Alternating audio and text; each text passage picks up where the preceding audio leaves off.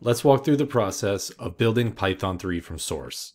You might want to do this so you have access to the latest version of Python, even the unreleased testing branches, or your system may have an older version of Python and you want the latest release. I'm going to download the latest testing release of Python and build it in a fresh Debian system.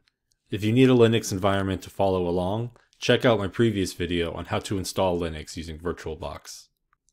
You will be able to use this Python that we build like normal, but you'll also have the header and library files if you want to write C extensions for Python or embed Python in a C application. It'll also come with the man pages.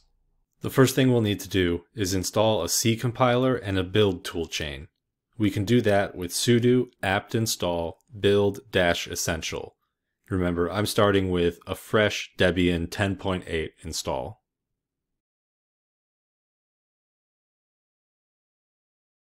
There are a couple ways to get the Python source code. One option is to go to python.org and then go to Downloads, Source Code, and then find the right version.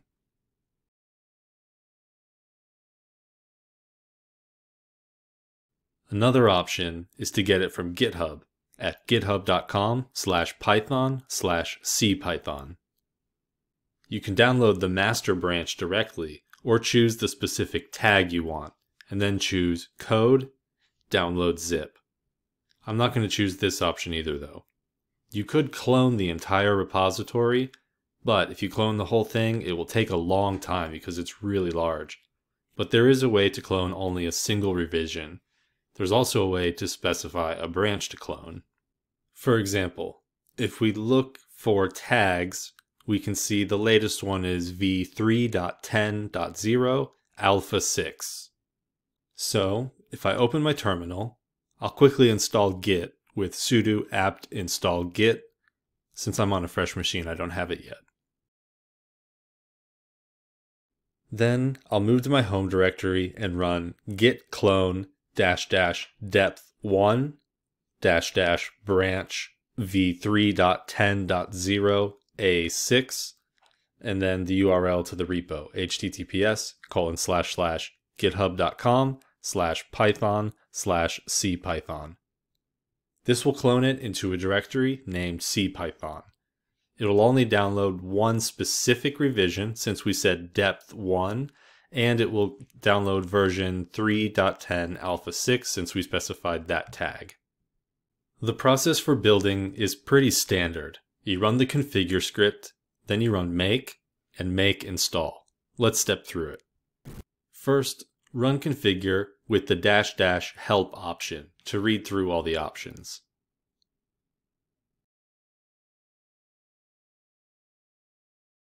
One noteworthy option is the dash dash prefix. This lets you specify the install directory. Another option worth noting is dash dash enable optimizations. For this demonstration, I'll run the configure with the prefix of home slash python 3.10.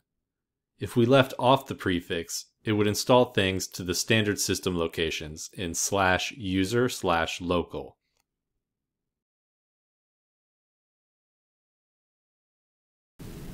When it's done configuring, we simply need to call make. This will take a few minutes to compile everything.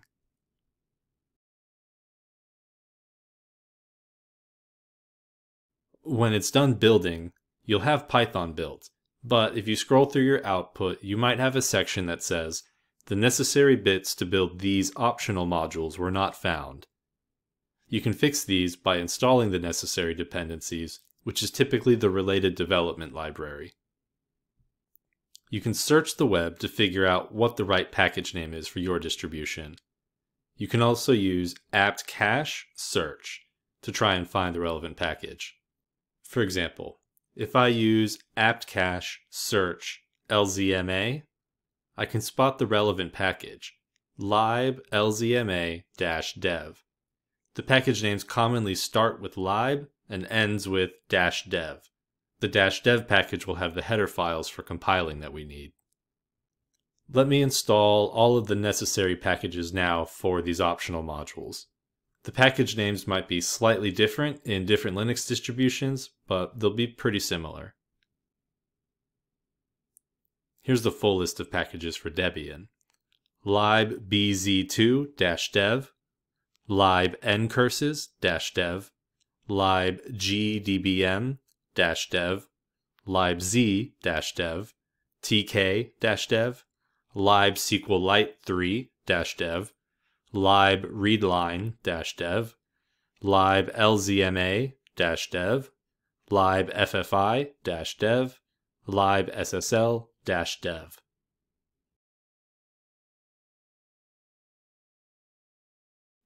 Then we'll need to run configure again.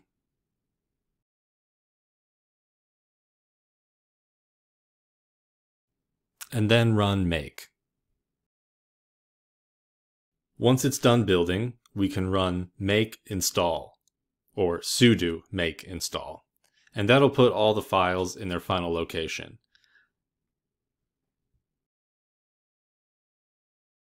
Since I ran configure earlier with the prefix of my home directory, I don't need sudo when running make install.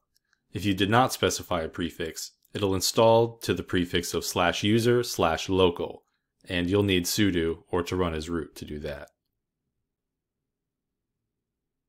If we output the path environment variable, we'll see that slash user slash local slash bin comes before slash user slash bin. This means if we install our custom built Python to slash user slash local slash bin, it will take priority over the system Python when we try to run it. So it will become our default for the user. If I move to the python 3.10 directory in my home, I'll find a few directories. bin, include, lib, and share. The bin directory contains the most important piece, the Python 3 executable. The include directory contains all the include files needed for Python development, including python.h, which is used for writing C extensions or embedding Python inside another application. The lib directory has all of the Python modules, as well as the libpython.a static library for linking. The share directory will contain the man pages. You can read the man pages directly by calling man and the path to the man page.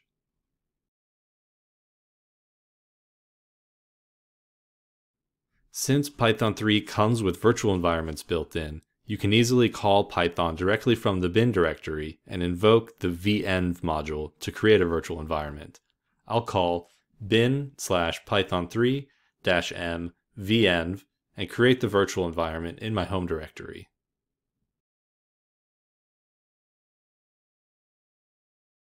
Then I can activate the virtual environment with source tilde slash venv slash bin slash activate.